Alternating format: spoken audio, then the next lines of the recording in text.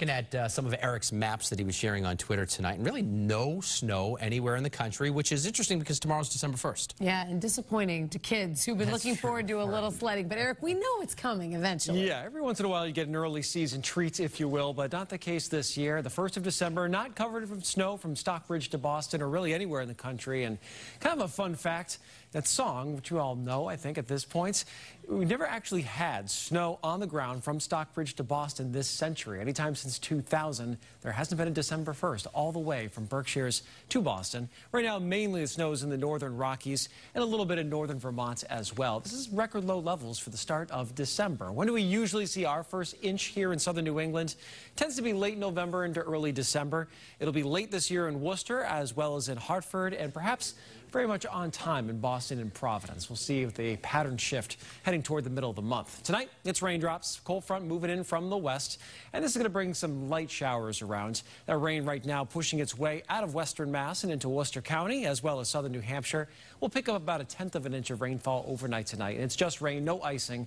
Temperatures are actually quite mild, so we're not anticipating any wintry stuff with this one.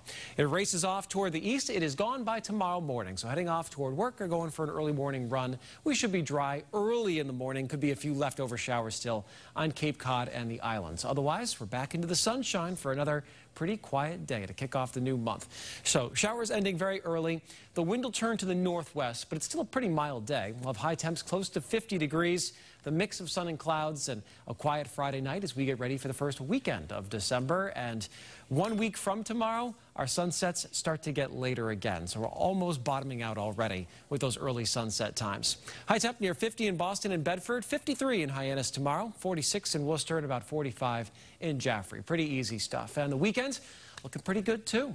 Temperatures 40s by day, 20s and 30s at night. High pressures in control and a lot of sunshine out there. That's all she wrote. So we're looking at a seasonable weekend and a good one to get ready for winter weather eventually here. So you still have some chores in the yards and things to get done, getting the wood pile ready to go. I think this weekend's a great opportunity to do it.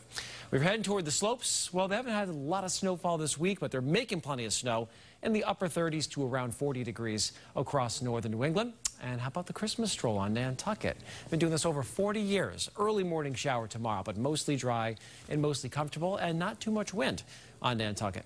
Now, there's one thing that there is of note this weekend, and that is the supermoon. It's the only supermoon of 2017. We're actually going to get three in a row. This one, the next full moon, and the next full moon, and that second one in January. There's two in the same month. That makes it a blue moon and a super moon. So we'll talk about that coming up in January. But the main impact for us is it'll be beautiful outside, and we're going to see some big tides extra high high tides, extra low low tides, and that's especially true for the weekend into the start of next week. These are some of our highest tides of the year.